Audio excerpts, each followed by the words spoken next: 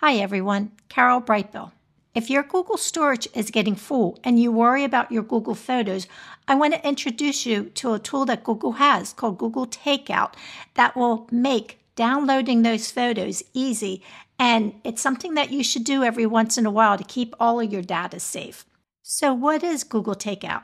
It's a free service that you can download a copy of all your data that's associated with your account anything from your photos, your Gmail, your contacts, everything in your drive. It's like a digital suitcase that keeps all your memories and all your data safe no matter what happens to your account. But we're just going to download your photos with this video. And if you like this video, please give me a thumbs up and consider subscribing to my channel. Come on, let's dive in. You want to load Chrome the browser and in the URL bar, you want to type in takeout.google.com, which will take you to Google Takeout.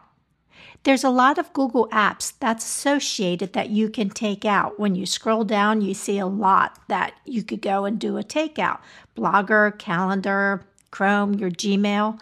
But we're only interested in Google Photos now. So I'm going to select deselect all and I'm going to go to Photos and I'm going to check Google Photos.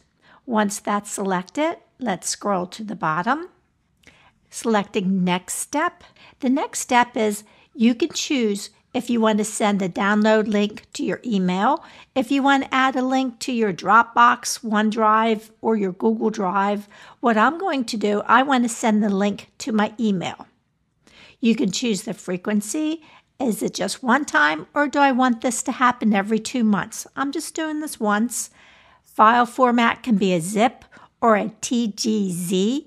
You want to do a zip, and here's the file size. This depends on how many photos you have if you want to make it manageable. Uh, if you have a lot of photos and you only do two gigabytes, you might end up with a lot of links that you have to download. I'm going to make mine 10 gigabytes.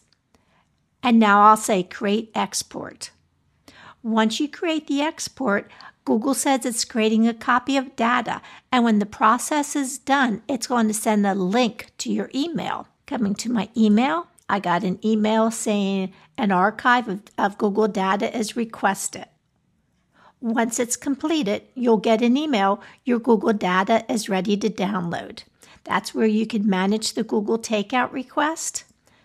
When you select that, you'll see all the downloads that you have. I have three downloads. And if I select download, it will download this to my computer. If you want to keep your photos safe, I recommend getting an external hard drive to put all your photos. Then that way you have them separate and you won't lose them. That's it. That's how easy it is to download your photos from your Google account from Google Photos. And if you like this video, please subscribe to my channel and give me a thumbs up. Have a great day.